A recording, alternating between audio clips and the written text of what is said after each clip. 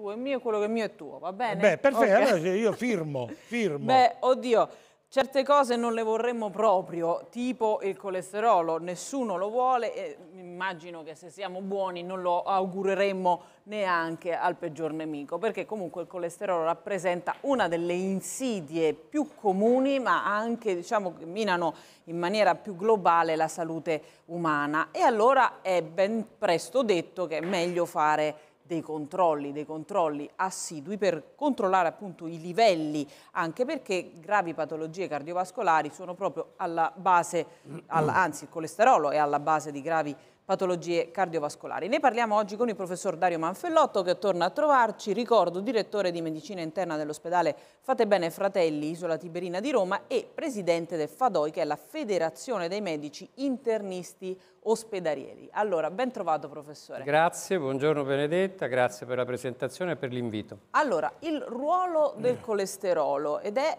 diciamo così, un prodotto nostro, cioè del nostro stesso organismo. Sì, il colesterolo è una sostanza grassa che in realtà è fondamentale nell'equilibrio, nel metabolismo del, del corpo umano, perché eh, il colesterolo entra nella produzione della membrana di tutte le cellule, che ha una copertura lipidica, cioè di grasso, entra nella sintesi di molti ormoni, gli ormoni sessuali, il cortisolo, che è l'ormone cosiddetto dello stress, che è fondamentale per la risposta alle difficoltà del giorno quotidiano, per vivere la giornata eh, nostra nel modo migliore. Quindi è una, è una sostanza fondamentale. amico. È un amico. Il problema quando è?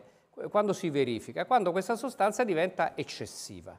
Allora, se è eccessiva, supera il fabbisogno dell'organismo e rischia di diventare dannosa, in particolare andando a depositarsi, è come una specie di cera. Ecco, la cera quando cade sulla tovaglia si infiltra, è difficile da togliere. Ecco, va sulla parete delle arterie, eh, si deposita lì e lì innesca un meccanismo infiammatorio che procura la placca e poi sulla placca si accresce una- un grumo diciamo, di sangue sempre più grosso fino a che può portare disturbi circolatori. Quindi è l'eccesso di colesterolo che è nocivo. La grafica ci sta aiutando, ma direi che il professor Manfellotto, con l'esempio della cera della candela che si infiltra nelle fibre della tovaglia, ha dato l'immagine plastica perfetta. Allora, controllare il colesterolo significa comunque non essere sciocchi e quindi arrivare preparati eventualmente a qualcosa che non vada. Le chiedo, ogni quanto andrebbero fatti i controlli, a partire da quali età e postilla, anche i bambini possono avere colesterolo alto?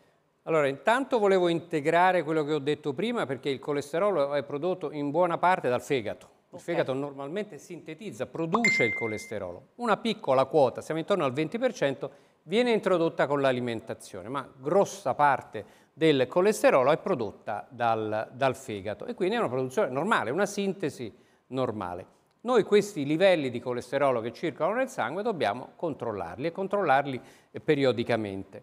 Eh, diciamo che in condizioni normali, in cui non c'è una nota, un noto ipercolesterolemia, cioè un eccesso di colesterolo, noi possiamo fare un controllo ogni qualche anno, diciamo. Poi invece abbiamo le persone che hanno un eccesso di colesterolo nel E già sangue lo sanno. e già lo sanno, già è stata fatta la diagnosi e lì dobbiamo andare a cercare a dosare annualmente, ecco, perlomeno. Se poi ci sono dei trattamenti in corso, allora può diventare opportuno fare dei controlli periodici anche più frequentemente. Eh, il, il medico però, ecco io dico sempre che è il medico che valuta al di là degli schemi no, ogni sei anni, ogni anno, quando per lui è opportuno che il paziente in rapporto alla sua situazione, in rapporto alla cura, debba fare i controlli del colesterolo. Oh, prima di andare dal nostro adolescente Domenico, volevo sapere dei bambini. Sì, mi scusi, eh, infatti i, i bambini è un altro aspetto importante perché i bambini teoricamente sono esenti dall'ipercolesterolemia, però ci possono essere bambini che sono figli di persone, di genitori che hanno un eccesso di colesterolo. Ok. Allora il rischio che fin da piccoli possano avere un uh, colesterolo più alto del normale va verificato, viene verificato alla nascita, può essere verificato periodicamente se il colesterolo si trova alto. Ci sono delle condizioni che si chiamano di ipercolesterolemia eterozigote, che sono familiari, meno gravi, che vanno controllate. Quella molto grave è l'ipercolesterolemia omozigote, in cui cioè è prodotto un eccesso di colesterolo, ma è una condizione molto rara. Diciamo che in Italia circa uno su un milione di abitanti, quindi circa 60 persone in Italia hanno questa grave condizione di eccesso di, iper, di, di colesterolo nel sangue. Allora, professor Manfellotto, sentiamo cosa arriva da casa e soprattutto come fare ad intervenire ad Elisir da casa. Domenico e anche Francesca, buongiorno. Buongiorno, la redazione web di Elisir ovviamente è già attiva. Contattateci tramite WhatsApp mandando un messaggio al 340 7384 068 oppure andate sul nostro profilo Facebook digitando chiocciolina Elisir TV. Professore Valeria ha 59 anni eh, e ha letto che esiste un legame tra aumento dei valori del colesterolo e stress. Conferma questa tesi?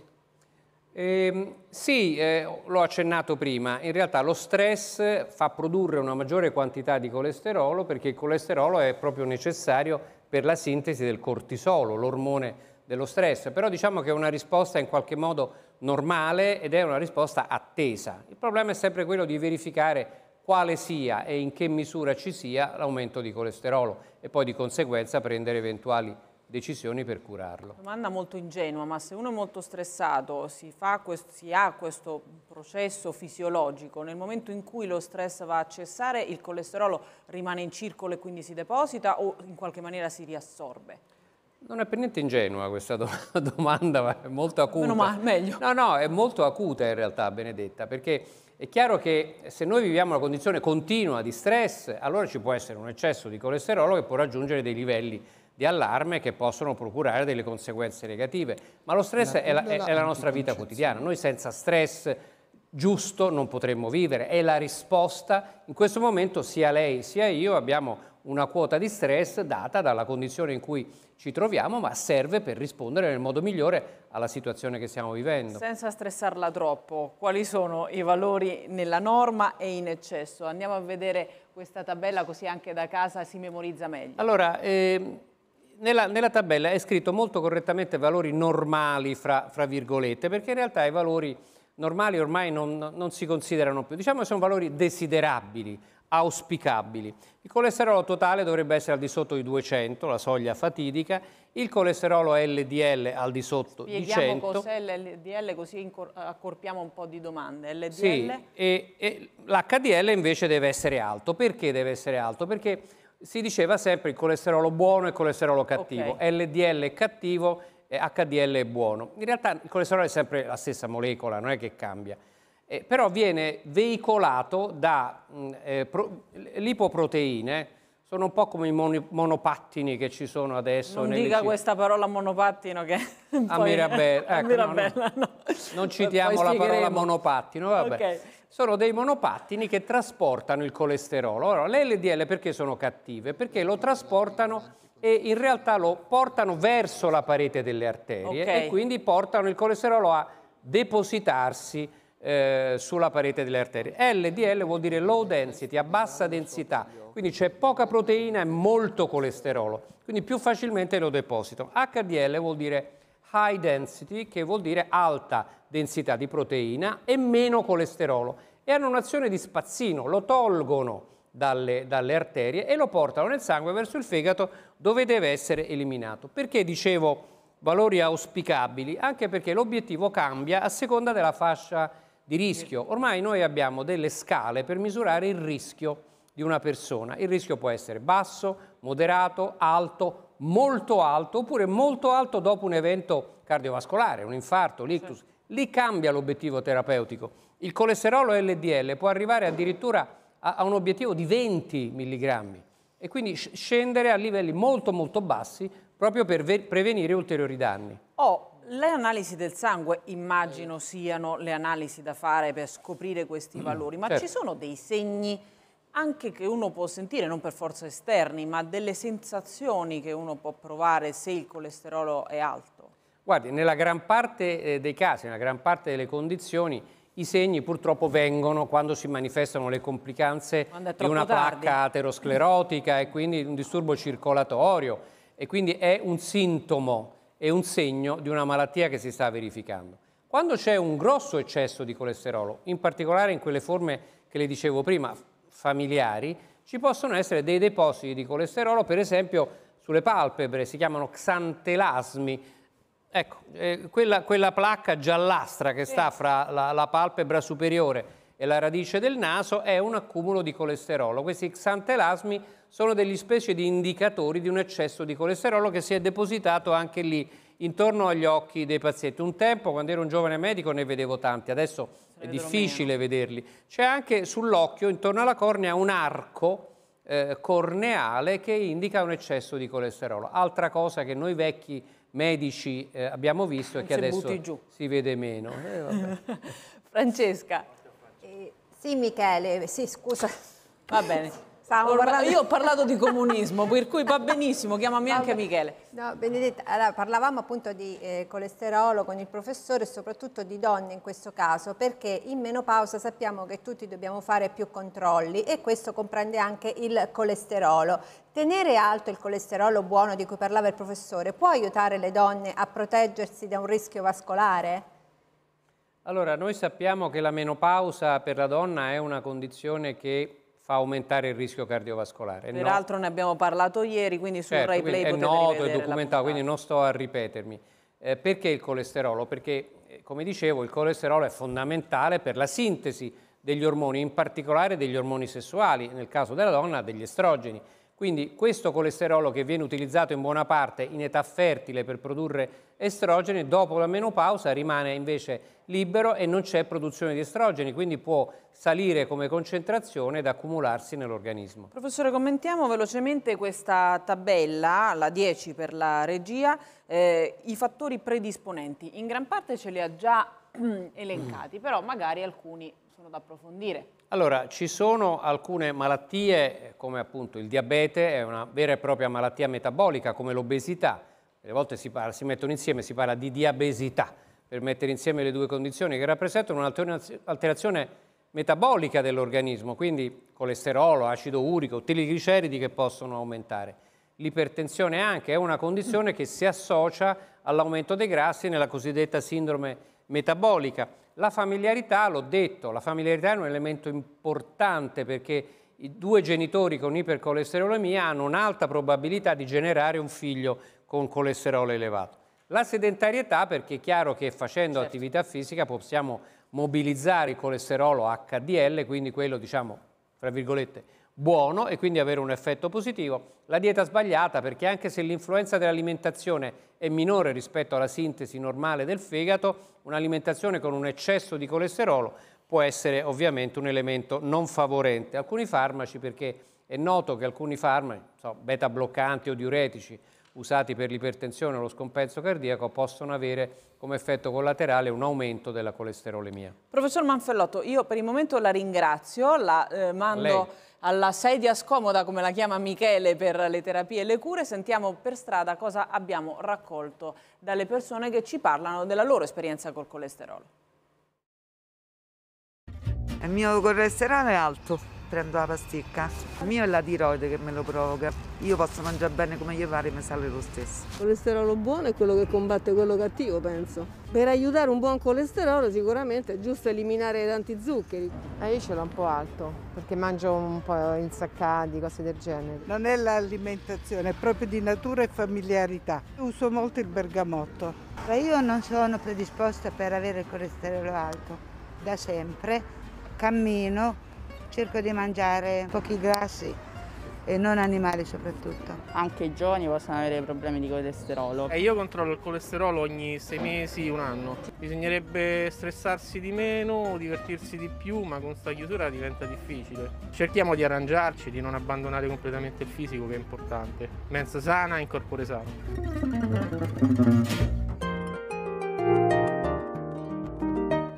Nel, nell'esordio della conversazione, professor Manfellotto, ricordo essere il professor Dario Manfellotto, direttore di medicina interna all'ospedale Benemerito, Fate Bene Fratelli Isola Tiberina di Roma e presidente del FADOI, Federazione dei Medici Internisti Ospedalieri, che è il nervo proprio, proprio dei medici che hanno più contatto con noi tutti eh, per cittadini. Allora, controllare, ha detto giustamente Benedetta, periodicamente i livelli di colesterolo.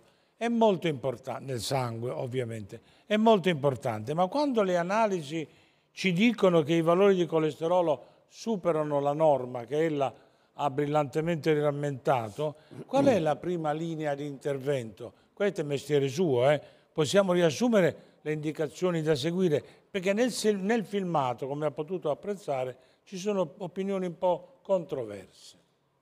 Intanto buongiorno anche a lei. E poi ha ragione che la sedia è scomoda perché effettivamente quella è proprio una poltroncina eh, proprio sì, da... Perché là deve esprimere la dottrina eh. e lei è abilissimo come tutti, molti colleghi suoi, non tutti.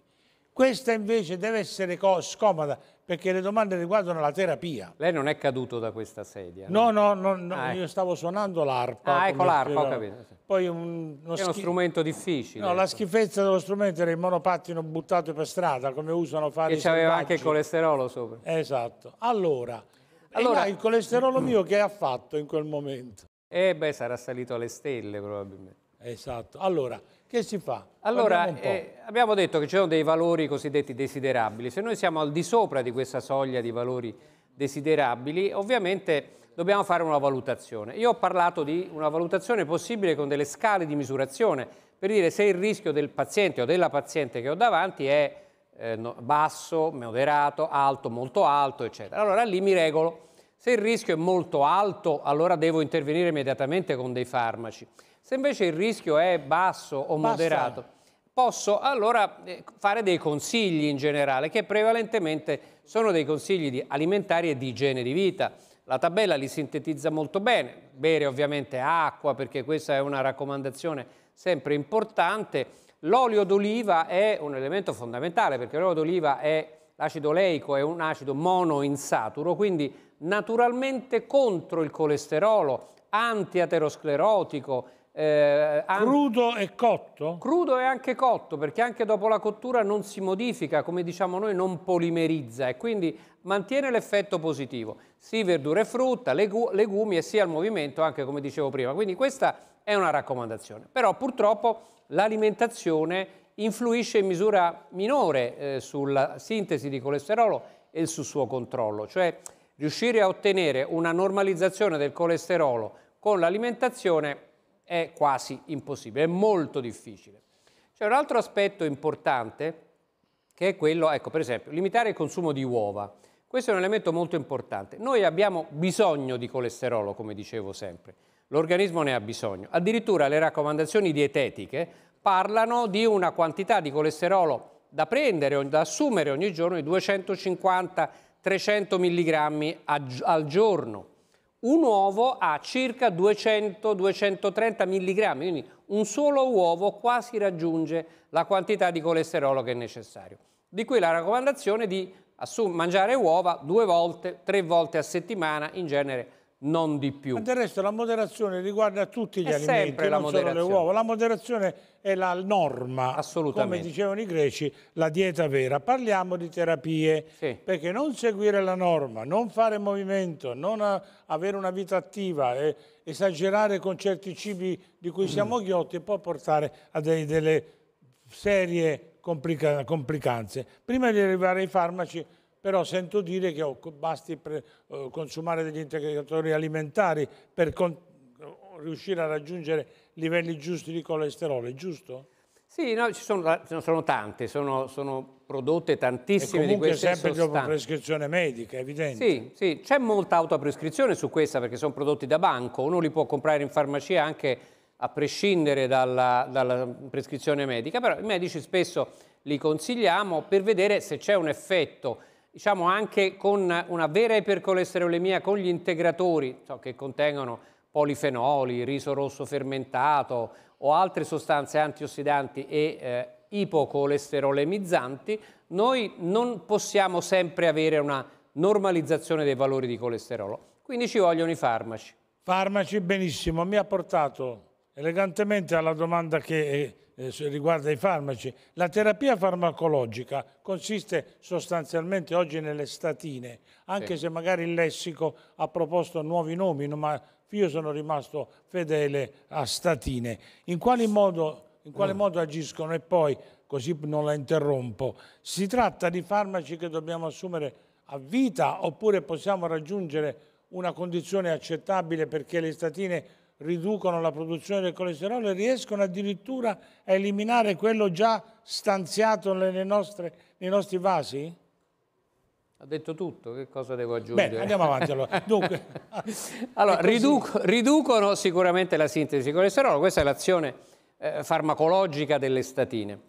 Eh, non sono solo statine adesso, abbiamo anche altri farmaci, non faccio nomi per, ehm, così, per discrezione. con lo stesso meccanismo? No, ci sono alcune sostanze che riducono l'assorbimento intestinale del colesterolo, altre sostanze che con altri meccanismi diversi dalle statine riducono la sintesi di colesterolo. L'obiettivo è sempre quello di abbassare i livelli, la concentrazione nel sangue di colesterolo e quindi di poter avere questo effetto che lei diceva di spostare il colesterolo dalle arterie e quindi migliorare la condizione. Poi ci sono anche farmaci modernissimi, molto più efficaci, che si danno quando con le statine non riusciamo a raggiungere quei valori auspicabili in rapporto alla condizione di rischio, anche delle volte anche ad azzerare il colesterolo LDL, portarlo a valori bassissimi. Allora questi sono eh, i farmaci che si chiamano ehm, gli inibitori delle PCSK9. PCSK9 è una proteina eh, che eh, ha un'azione eh, di portare via il colesterolo con un meccanismo molecolare particolare che non sto a, a spiegare perché è un po' complicato, però bloccando questa proteina si fa in modo che il colesterolo vada verso il fegato e quindi il fegato possa eliminarlo e metabolizzarlo. È una iniezione sottocutanea, viene fatta una o due volte al mese in chi ha una colesterolemia eccessiva e molto resistente e l'effetto è straordinario. Vede che non avevo detto tutto, la cosa più nuova e più importante l'abbiamo raggiunta. Francesca. Sì, Michele, vogliamo dare una risposta ad Anna che di solito eh, dona il sangue, però dice di avere il colesterolo alto. In questo caso cosa può fare? Può continuare a donare il sangue o deve evitare? Dipende dal, dal valore di colesterolo, comunque le raccomandazioni sono molto precise e indicate dai medici degli- dei centri trasfusionali. Eh, se c'è un'ipercolesterolemia banale non ci sono problemi. Se l'ipercolesterolemia è molto grave o ci sono dei farmaci, il medico si può riservare di prendere una, di- una scelta, prendere una decisione e indicarla al paziente. Eh, professore, dianzi abbiamo ascoltato eh, quell'inciso che avete fatto con Benedetta sull'eccesso di colester- mo- colesterolo nei bambini, che è più raro ovviamente, che la cui genesi è l'ha spiegato compiutamente. Questa terapia e va bene anche per loro. La terapia di cui ha accennato. Questa terapia iniettiva, Iniettiva. andrebbe bene e va bene, viene utilizzata insieme a altre tecniche in quei rari casi di ipercolesterolemia gravissima omozigote, però ho detto è una su un milione, è una malattia rara. In Italia si contano circa 60 persone che hanno questa forma, di cui 35 sono in trattamento. Fa benissimo, professor Manfellotto, a ritornare sempre sulla fedeltà alle prescrizioni non soltanto delle- de- delle- delle- dei, dei bugiardini, ma anche del medico curante che ha eh, assegnato, ha prescritto quel farmaco, perché il rischio per chi abbandoni la terapia perché è stufo, perché è convinto di aver già vinto, sono alti. È altissimo, è altissimo. Nelle- nei manuali e nella, nella- nella pubblicistica di lingua inglese si parla di compliance, cioè di Certo. adattabilità al trattamento. In italiano diciamo aderenza e persistenza, che effettivamente è un'abitudine, no? si prescrive un antibiotico per una settimana, prende- il paziente lo prende per tre giorni. Così la statina, prendo 40 mg, ne prende 20, oppure eh, devi prenderlo e lo riduce. Eh, e c'è sempre un Arbitri. po'... Ecco, c'è sempre uno, uno sconto, diciamo, che eh, eh, molto spesso viene, viene fatto, però è importante attenersi alle indicazioni mediche. Allora, siamo alle eh, domande del pubblico, be- ben gestite da Benedetta. E, e anche da Domenico e Francesca, ma inizio io anche perché ne avevamo parlato col professore prima degli xantelasmi, cioè quegli accumuli di grasso di colesterolo, Colesterolo. sugli occhi. Ecco, ci chiedono se si possono togliere. Sì, sì, si possono rimuovere, è un intervento diciamo di chirurgia plastica sostanzialmente, quindi si interviene, si, si svuota questa sacca e si, e si ricostruisce. E questa era la domanda di Giorgio, adesso diamo Domenico. Sì, professore, c'è Ilaria che ha 23 anni e ci dice fino adesso avete parlato di valori alti del colesterolo totale, io invece ho il problema opposto, ho valori del colesterolo totale molto bassi. Ci chiede, questo può essere anche un problema? Eh, no, nel capito? senso che la quantità che è necessaria per l'organismo comunque viene utilizzata e ne è una condizione di protezione cardiovascolare avere dei valori di colesterolo normali o inferiori alla norma. Francesca. Sì, invece Betta, credo Elisabetta, soffro di tallonite. Il medico mi ha detto di controllare i livelli di colesterolo. Come mai si chiede? Mi scusi, ma non ho capito, soffro di? Tallonite. Ah, la tallonite. Ah, ok. Eh, siccome eh, questi depositi di colesterolo possono interessare anche le guaine tendine, allora potrebbe esserci un accumulo di colesterolo eh, che eh, produce questa infiammazione del tallone e quindi manifestarsi con un dolore proprio in sede talare, nella sede del tallone. Buongiorno, sono Eliana e mi sono allarmata quando nelle analisi di mia nipote 14enne è risultato il colesterolo totale a 215. È giusto il mio allarme? Beh, va controllato sicuramente, insomma è un bambino, è chiaramente un valore superiore a quelli auspicabili e quindi va controllato. Allora, noi ringraziamo il professor Dario Manfellotto, direttore della medicina interna dell'ospedale Fade Bene Fratelli, presidente eh, del, della Federazione dei Medici Internisti Ospedalieri. E allora adesso continuiamo con la nostra cavalcata, non soltanto di Elisir, ma anche la campagna Io mi vaccino perché. Vediamo.